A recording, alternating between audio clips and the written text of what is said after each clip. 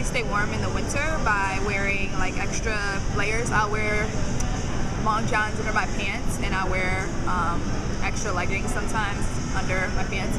Or I'll put on some sweaters and long sleeve shirts and under my coat and then I'll use a scarf also. And a must have is you gotta keep gloves in your pocket for when it gets chilly and your fingers start to hurt. And I also wear a hat a lot too, so that's how I stay warm in the winter.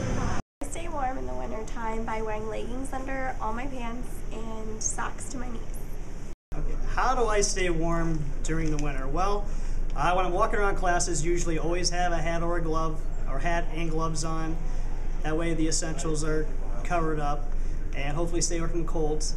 Um, and sleeping is another hard one. I don't like to turn up the heat in my house, save some money. Everyone's good with that.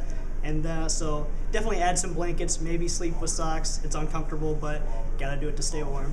I stay warm in the winter by keeping hand warmers in my gloves.